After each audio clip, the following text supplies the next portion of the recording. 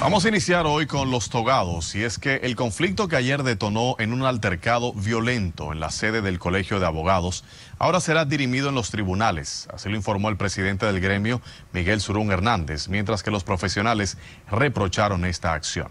Paola Ledesma en directo nos tiene los detalles. Paola, cuéntanos. Adelante. Gracias, buenas tardes. Tal y como acabas de adelantar, sillas, ventanas, proyector y otros inmuebles quedaron aquí en el Colegio de Abogados totalmente destruidos luego de que profesionales del derecho realizaran una trifulca la noche de este martes, alegadamente en desacuerdo con la comisión electoral que se formó. Y es que de esta agresión el presidente del gremio, Surún Hernández, responsabiliza a Enrique García, quien es uno de los que aspira a dirigir el colegio. Estamos en presencia de un grupo que ha boicoteado todo del colegio. Nosotros convocamos, los llamamos personalmente para que asistieran y no fueron. La publicación del periódico está en todas las redes.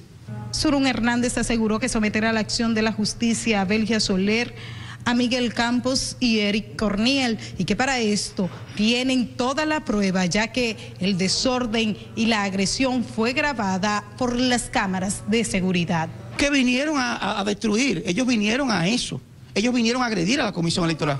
De inmediato otros togados también reaccionaron en torno a la acción. Me crean mucha vergüenza y me crea mucha pena ver cómo los profesionales del derecho eh, se enfilan a crear violencia y a romper todo el inmobiliario de su propio, de su propio gremio, que al final de cuentas eso va a ser, eh, va a estar en detrimento de los mismos recursos del gremio, valga la redundancia. La clase del derecho debería ajustarse a los tiempos y ver que la de la lucha de lo contrario surge lo nuevo y que porque hayan diferencias ideológicas en algunos temas, no es posible que hoy día profesionales del derecho estén exhibiendo ese tipo de comportamiento. Se perdió la ética, la profesionalidad, por un tema sin tanta importancia, porque estaban formando la comisión